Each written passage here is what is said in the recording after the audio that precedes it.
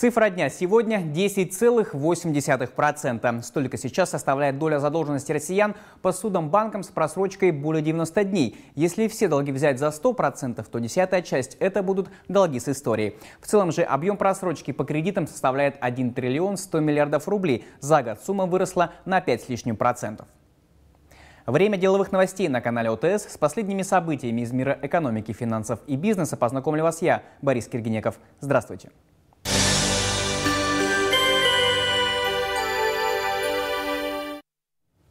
С другой стороны, изменилось и отношение россиян к финансовым организациям. Каждый десятый клиент банка недоволен обслуживанием. К такому выводу пришли специалисты Национального агентства финансовых исследований. Россияне считают, что жаловаться на банки бесполезно, и лишь 4% граждан решаются подать претензию в устном или письменном виде. Более половины клиентов высказывают недовольство непосредственно сотрудникам кредитной организации. К ее руководству обращается 28% граждан. А вот на судебные разбирательства решается всего 1% россиян. Чаще всего свои претензии высказывают заемщики банков, у которых на руках проблемные кредиты. Их активность вдвое выше, чем у остальных клиентов.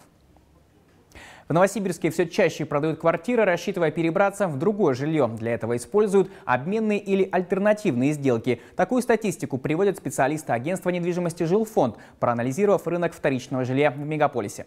В среднем квадратный метр жилья в Новосибирске обойдется в 61 тысячу рублей. За месяц стоимость упала на треть процента. Но если сравнивать с прошлым годом, то сокращение серьезнее – на 7,2 процентных пункта. Квадратный метр однокомнатной квартиры эксперты оценивают в 60 тысяч рублей. Двушки традиционно дешевле на 700 рублей, а метр в трехкомнатной обойдется в 59 200 рублей. В Новосибирске прошел деловой форум инвестиций в безопасность бизнеса. В нем приняли участие предприниматели и топ-менеджеры малых и средних компаний, адвокаты, эксперты, а также представители власти.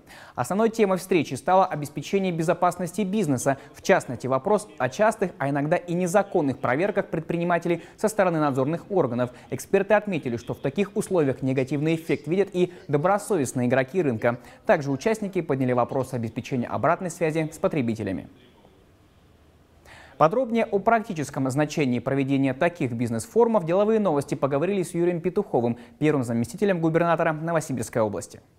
Подобного рода площадки диалоговые, они принципиально важны, потому что мы, безусловно, об этом и говорит губернатор Новосибирской области, что Новосибирская область – это регион новой экономики, и это не только программа реиндустриализации, не только кластерная политика, где у нас и развивается и новые технологии, новое производство, но, конечно, это прежде всего предпринимательство, потому что это новые рабочие места, это занятость, это э, предоставление услуг э, всевозможного рода.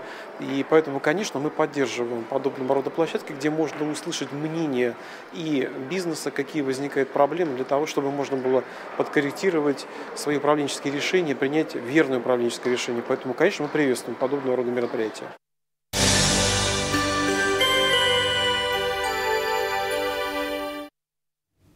Доходы населения в прошлом месяце сократились на 5,7% в годовом исчислении, сообщает Росстат. А эксперты Высшей школы экономики выяснили, что почти половина семей с детьми в России имеет финансовые проблемы.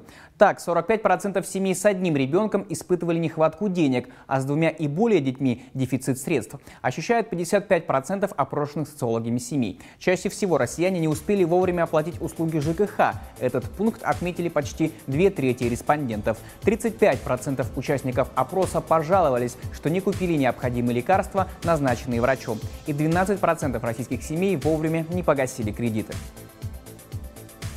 С 1 июля в России повысили минимальный размер оплаты труда. Работодатели по всей стране не смогут платить своим сотрудникам меньше 7,5 тысяч рублей. МРОД вырос сразу на 21%. Изменение затронет около миллиона работников. Из них 87% трудятся в бюджетных и муниципальных учреждениях, а остальные в негосударственном сфере.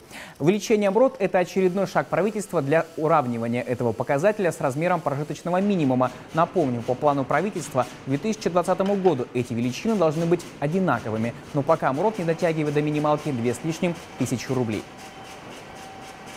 Мировые цены на нефть в пятницу умеренно растут на фоне сообщения Минэнерго США о сокращении добычи черного золота в стране. Александр Новак, министр энергетики страны, уверен, что высокая стоимость сырья может вернуться уже через полтора года. Цитата дня в деловых новостях.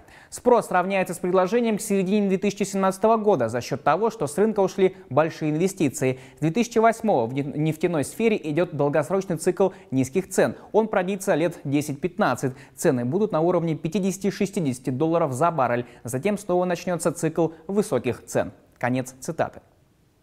На этом мы заканчиваем выпуск. В студии работал Борис Киргинеков. Оставайтесь с нами, мы рассказываем интересно об интересном. До встречи.